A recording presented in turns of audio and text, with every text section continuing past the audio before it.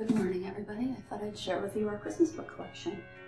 This book collection is pretty um, simple. I did. I have culled out all the books that we didn't love and um, only kept things that we really would read and enjoy every year.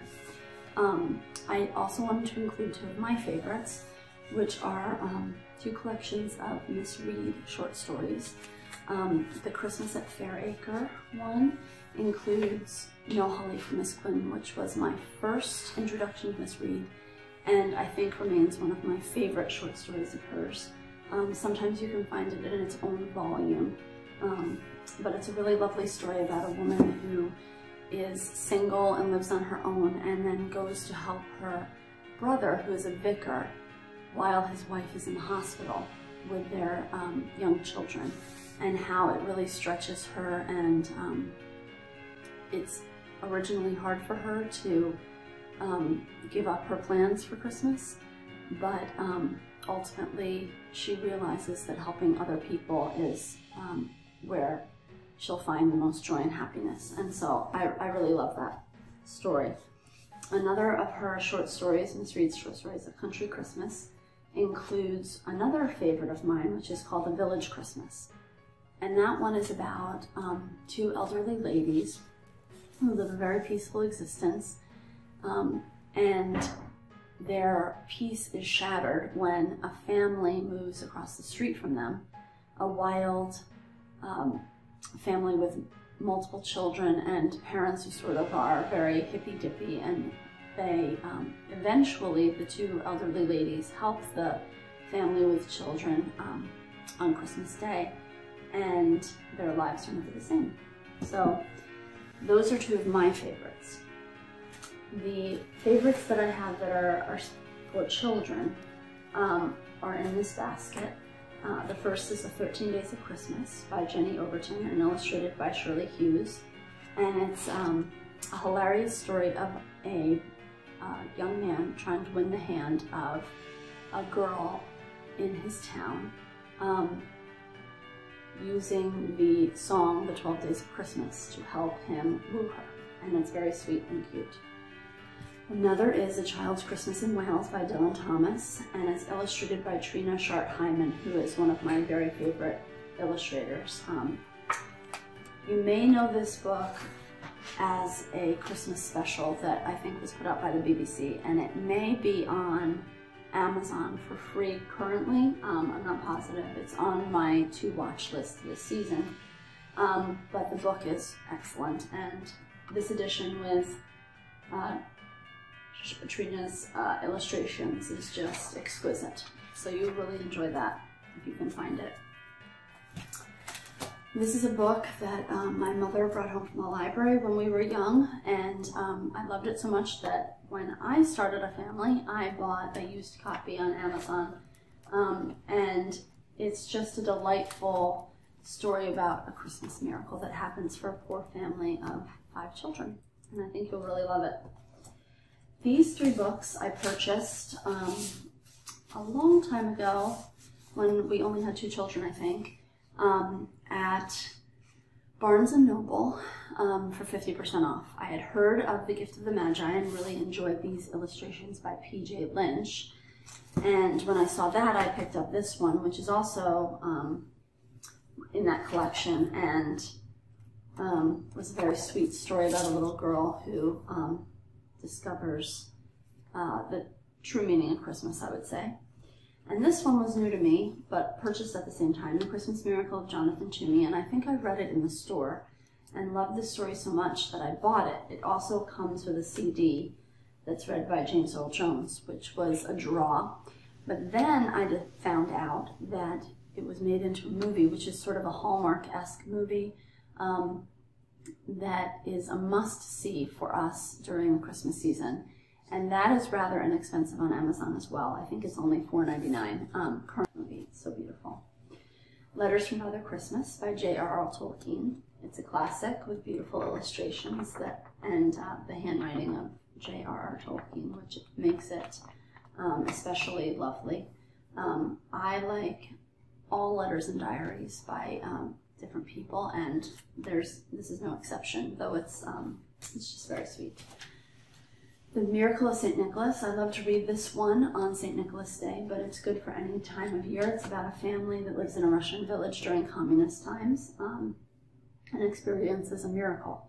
It's very beautiful. The illustrations are sort of iconographic, um, and it's just a really lovely story about a village coming together. This is my favorite book on St. Herman of Alaska, who's celebrated on December 13th. Um, I love the illustrations in this book, and the story is very um, lyrical and simple for little ones. Um, this book often finds itself on our nature table um, around St. Herman's multiple feast days. So um, that's a good one to look for. This Lucia, Saint of Light, is a wonderful story by Katherine Bolger Hyde. Beautiful illustrations.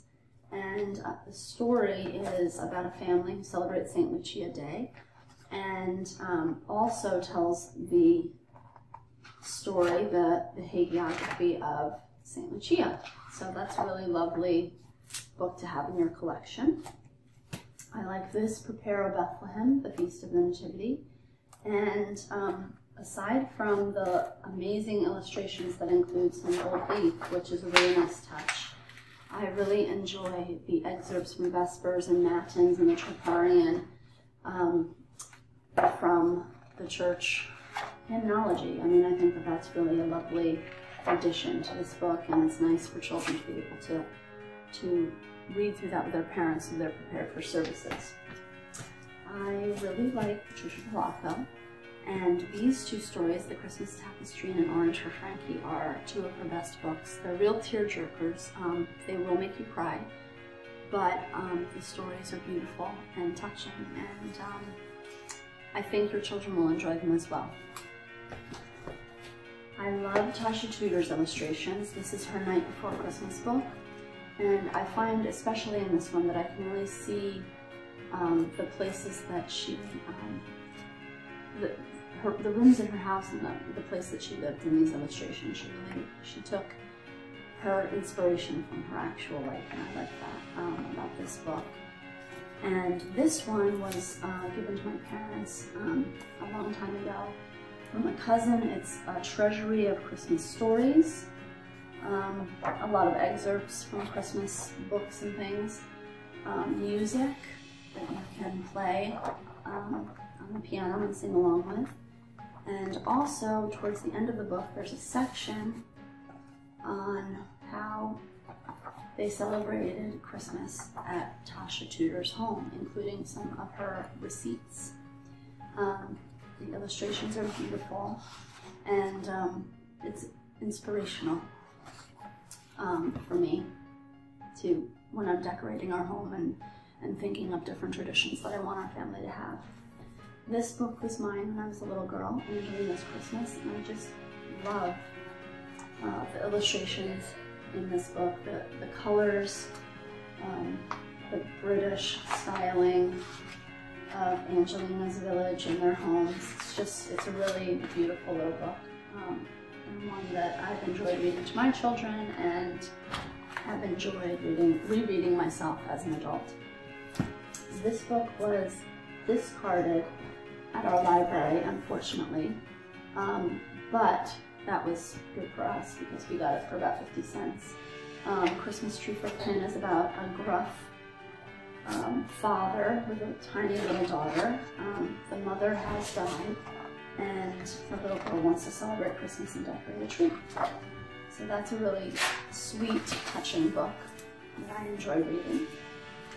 The Year of the Perfect Christmas Tree and The Story of Holly and Ivy are two of my books that um, were illustrated by Barbara Cooney, who is one of our favorites. Um, Chris, the Year of the Perfect Christmas Tree is a really touching story of a little girl who goes to um, choose a Christmas tree with her father. Then her father is taken um, to, or taken to Europe to fight in World War II, or World War One, I'm sorry.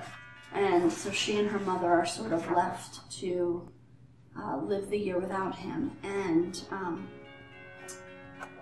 they have to collect the Christmas tree that, that, that was chosen by the father and the little girl um, before Christmas. And so it's a beautiful little story about that and uh, Christmas miracle that happens. Um, the Story of Holly and Ivy is another Christmas miracle book by Rumer Godden, who I know a lot of people love. It's a really beautiful story. It's lengthy. It could probably be a chapter book um, for some older, you know, it's perfect for some older children. Um, but the, the illustrations are beautiful.